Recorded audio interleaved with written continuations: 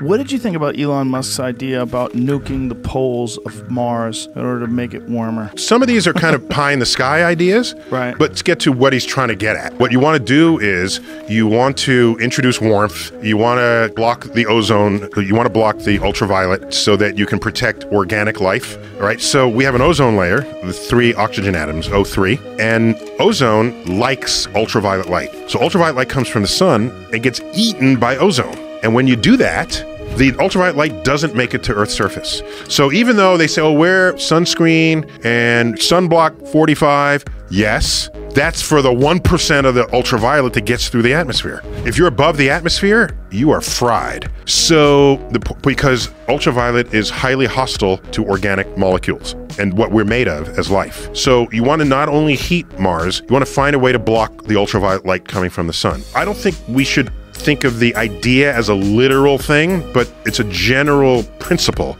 of what you want to accomplish on Mars.